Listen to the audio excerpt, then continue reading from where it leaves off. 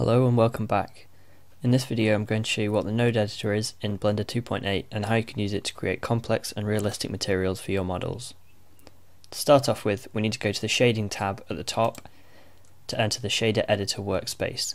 It will automatically change the view render type to the Look Dev mode, bring up an image viewer space in the bottom left, a file viewer space on the left, and the most important part, the viewer node space at the bottom.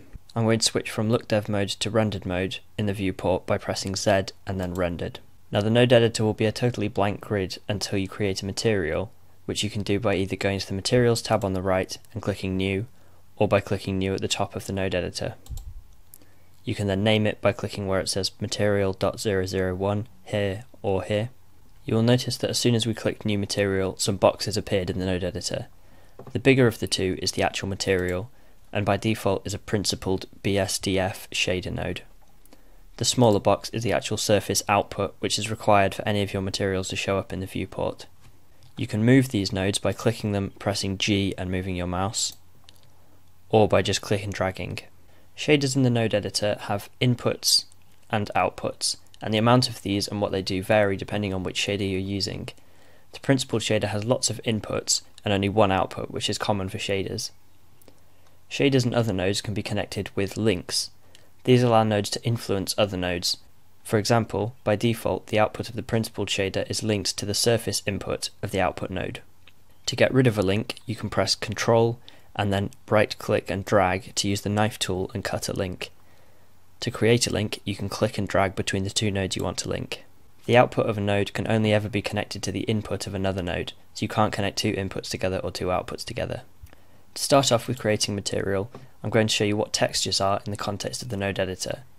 To create a new texture node, just press Shift A, click Textures, and then you'll see there's all these different kinds of textures. Each have a different look and can be used to control the input of a shader. For example, you can use one to control the base color or something more complex like how shiny the material is by connecting it to the roughness. The textures available by default with Blender are Brick, Checker, Gradient, image, magic, musgrave, noise, Voronoi, and wave. Each of these is used for a different look, and you can change the settings for most of them, such as the scale or detail. The best way to learn about what they each look like is to just experiment yourself. You'll notice I left out a few of the textures that you'll see in the menu, and the reason for this is that they aren't used for materials but instead for environments, which is out of the scope of this video. I'm going to show you how to use a noise texture to control the colour of our principled shader. To do this, we first need to press Shift A, then Texture, and then Noise Texture, and then drag the FAC, which is short for Factor input, to the base color. You'll see that there are two, color and factor. The color input is a multicolored noise, and the factor input is black and white, so I'm going to use factor for this tutorial. You'll see in the viewport that the surface of our object is now black and white, based off our noise texture. We can change the scale by clicking and dragging in the scale field, or by clicking it and typing a set number, and we can change the detail by doing the detail field. We can also change the distortion, although this isn't used very often because it just makes the whole surface look warped. This texture, along with all the other textures shown previously, are procedural. This means that they aren't defined by a traditional raster image file, but instead by a mathematical formula. This allows them to be scaled up indefinitely, with no loss of detail or resolution. For this reason, using procedural textures is often the most versatile way to make a material in Blender or any 3D program. Another main feature of the node editor is the use of mathematical and logical functions that can be performed on textures. I'm going to show you how to use a basic function with this noise texture and a new texture, a checker texture, which I'm going to add with Shift A. I'm going to add the node that performs the function by pressing Shift A, going to Converter and then choosing the Math node. I'm going to change its type from Add to Multiply and then I'm going to connect the factor of the noise into one of the values and the factor of the checker into the other, and then the output into the base color of the principled shader.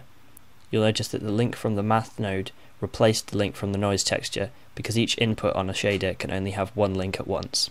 Now our texture is a mixture of the noise and checker texture.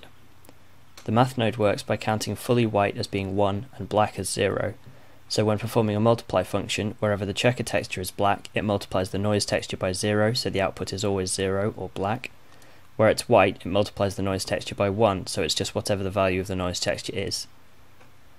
This is a simple version of a mathematical function in the node editor, but you can have any number of complex functions in order to produce much more complicated materials, and the best way to find the combinations is just to experiment yourself. Now you'll see that although our noise texture is quite detailed, it doesn't have very much contrast. The best way to increase contrast is to use a color ramp node, which you'll find under Converter. I'm going to click and drag this color ramp node, and I can either place it and then manually connect the links, or drag it over the existing link until it goes white, and then left clicking, and Blender will automatically create the links. Now to increase the contrast, I'm going to bring the black value up and the white value down. This will force whatever's coming in the input into a much more condensed gradient, which will make the output have much higher contrast. If you've ever used curves in Photoshop, then you've already seen a color ramp, but you might not have known it. What we can also do with these textures is use one texture to control a field on another texture. So if we delete our color ramp by clicking it and pressing Ctrl X, Blender will automatically fix the links, and then do the same for the math node and I'm going to delete the remaining two textures by left clicking and dragging to select them and then pressing X to delete.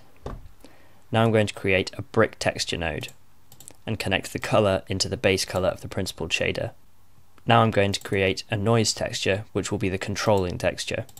I'll plug the factor of this into the scale of the brick texture.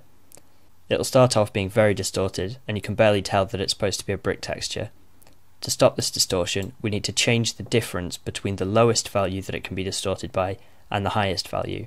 So we're going to return to the color ramp node.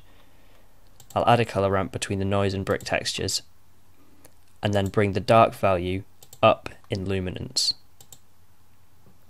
Now the difference between the lowest and highest is much smaller, which means the distortion is much lower.